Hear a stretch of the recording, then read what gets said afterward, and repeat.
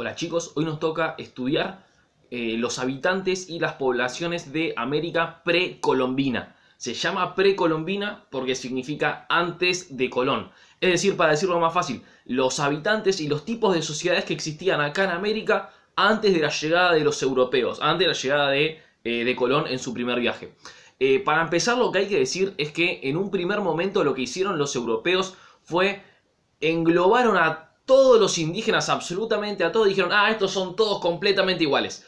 Y la verdad es que no era así, absolutamente para nada. Los habitantes de América, antes de que lleguen Colón, para nada eran todos absolutamente iguales, para nada. Eh, entonces, los europeos lo, que hicieron fue eh, los como por así decirlo, los pusieron a todos adentro de una misma bolsa con el nombre de indios. Recuerden que nosotros estudiamos que Colón pensó que estaba, eh, que había llegado a la India o muy cerca de la India. Entonces por eso pensaba que las personas esas eran indios, eran personas cercanas a la India. Entonces bueno, después le quedó ese nombre, después el nombre indio pasó a tener un término peyorativo porque eh, se estableció una relación de poder en donde se planteaba que había unos superiores y otros inferiores. Eso lo vamos a estudiar más adelante. No los quiero, este, no los quiero bombardear con información este, de entrada, porque es el primer acercamiento al tema.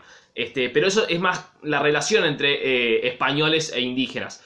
Ahora nos tenemos que centrar en las sociedades americanas antes de la llegada de los europeos. Bien, entonces, como les decía, para nada se puede plantear que todos los nativos americanos eran completamente iguales. Este, pero para poder estudiarlos mejor, lo que vamos a hacer es eh, diferenciarlos en tres grupos, en tres grandes grupos. Por un lado, el primer grupo que podemos este, encontrar son los que se llaman los grandes imperios.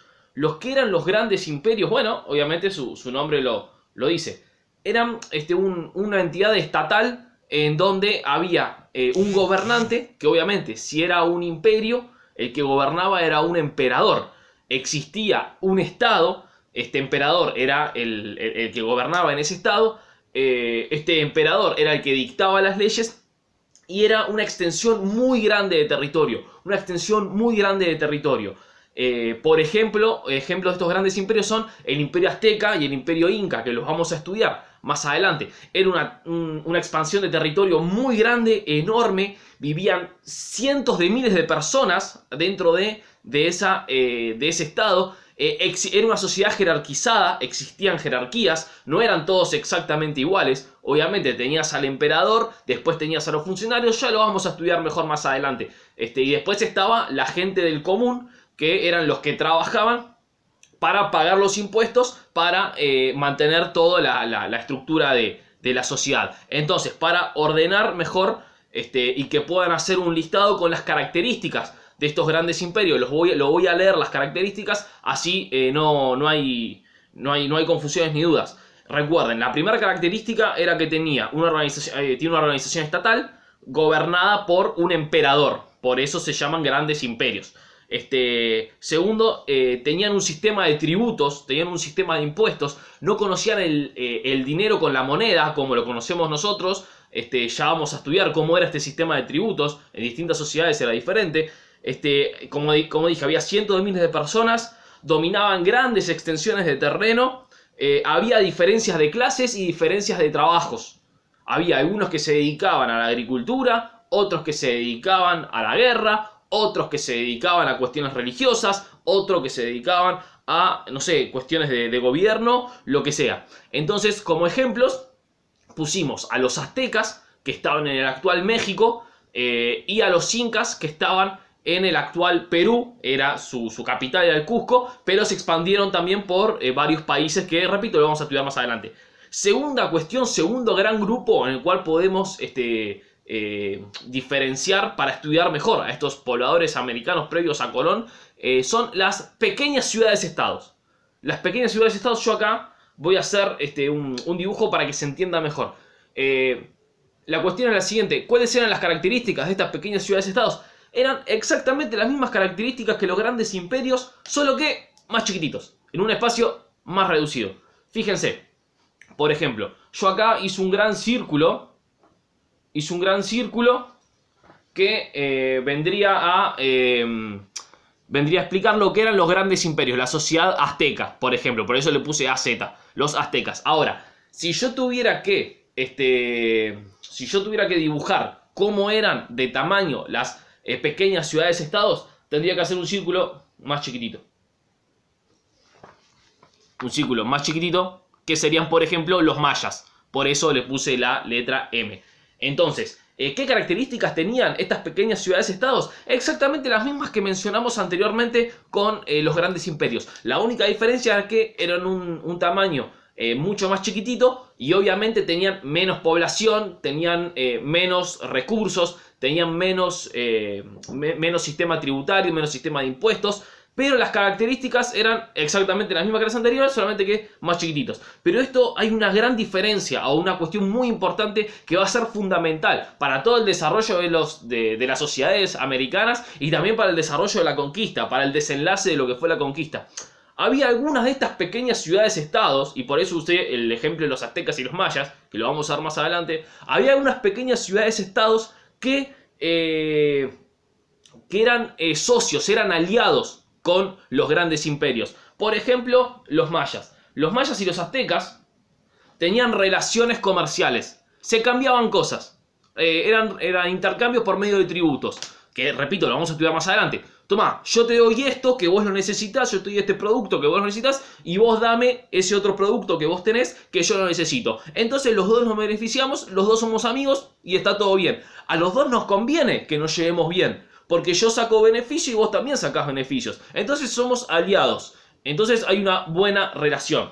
Este, pero, pero es una relación este, en donde las dos, las dos entidades son independientes. ¿Qué significa esto? Que si los aztecas quieren sacar una ley, si el Tlatoani, que ya más adelante vamos a ver lo que es un Tlatoani, el emperador azteca quiere sacar una ley, solamente esa ley va a regir dentro del espacio de los aztecas el emperador azteca no puede sacar una ley para los mayas. Es como que Argentina quiera sacar una ley para Uruguay. No, macho, no se puede. O flaca, no se puede.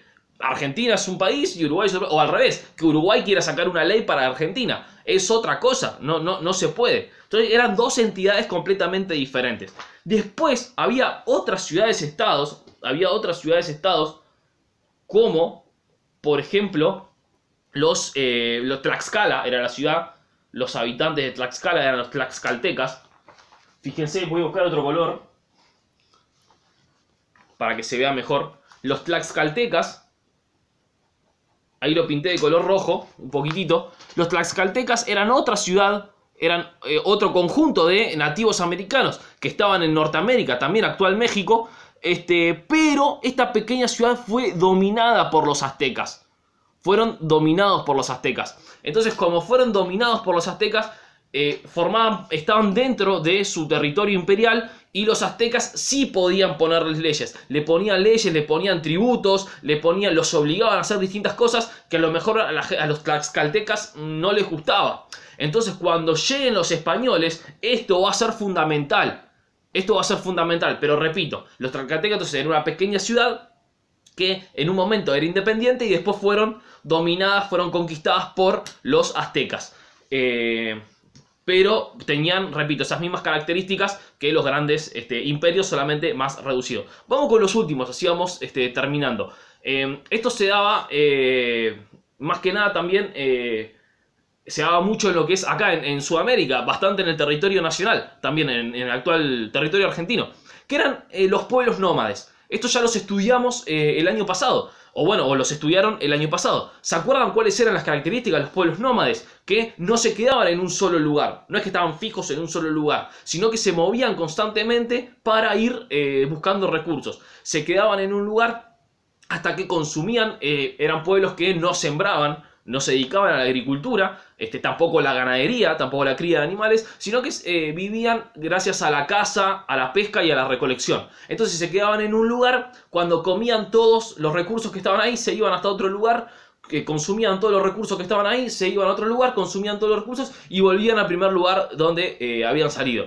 Este, porque ya volvieron a crecer las manzanas, bueno, no había manzanas o la fruta que sea, este, o se habían, eh, habían crecido los animales que antes eran chiquititos, entonces ahora sí los pueden cazar porque me va a dar mayor cantidad de carne, etc. Entonces, estos pueblos nómades se iban moviendo constantemente. Fíjense, yo ahí les dejé un mapa con eh, la estructura, sí, la, el, actual territorio nacional, que en ese momento obviamente no existía, Argentina como, como un país, pero eh, están ubicados todos los... Eh, o muchos de los pueblos originarios argentinas, de Argentina y plantea, indica muy bien cuáles eran nómades y cuáles eran sedentarios. Recuerden que los sedentarios eran los que se asentaban en un lugar, se quedaban fijos en un solo lugar. Estos pueblos sedentarios sí, ya se dedicaban a la agricultura, a la ganadería y por eso se tenían que quedar siempre en un mismo lugar eh, custodiando eh, sus alimentos, custodiando sus, sus, bienes, custodiando sus casas, custodiando absolutamente todo. Eh, entonces, por, por último, em, esta diferencia, esta diferencia entre grandes imperios, ciudades eh, pequeñas y pueblos nómades, eh, va a ser fundamental para el desarrollo del continente americano antes de la llegada de los, de los, europeos, porque cada uno de estos tipos de pueblos fue teniendo su propio, eh, su propio devenir, su propia evolución, y cuando llegaron los españoles también, cuando llegaron los, los europeos, también fue diferente esta cuestión. No era lo mismo, no era lo mismo para los europeos encontrarse con, este, con un pueblo, con un gran imperio que estaba acostumbrado a hacer la guerra, que era muy aguerrido, que era muy fuerte. No era lo mismo que encontrarse con un pueblo nómade que cada vez que querías hablar o cada vez que querías guerrear con ellos, se escapaban para otro lado y completamente se iban. Y vos no había manera que los puedas encontrar. Eh, entonces va a ser muy diferente también estas cuestiones. De momento vamos a arrancar con eso. Eh, más adelante, en, no sé si en esta misma semana o en la semana que viene, vamos a poder empezar a estudiar un poquito mejor uno de estos grandes eh, imperios que los habíamos puesto acá arriba, que son los aztecas.